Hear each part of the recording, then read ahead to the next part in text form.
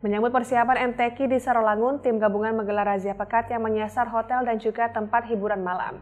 Pemandu lagu dan juga empat pasang kekasih yang terjaring razia akhirnya digelandang ke kantor Satpol PP setempat untuk dilakukan pembinaan.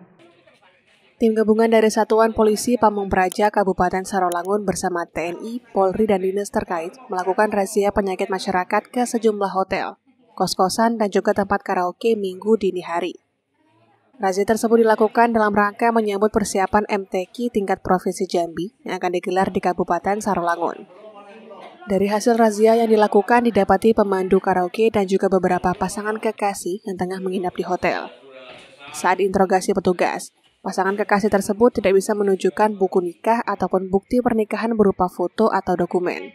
Hingga akhirnya digelandang dan dilakukan pembinaan di kantor Satpol PP setempat sedang mempersiapkan untuk menjadi tuan rumah MTQ tingkat provinsi Jambi di bulan Agustus yang akan datang. Karena itu kami berupaya supaya Kabupaten Sarawak ini eh, kondusif, terhindar dari kegiatan-kegiatan yang meresahkan masyarakat, terutama ya perhotelan. Kita tahu hotel-hotel yang ada ini juga eh, banyak eh, membuat apa usaha-usaha karaoke.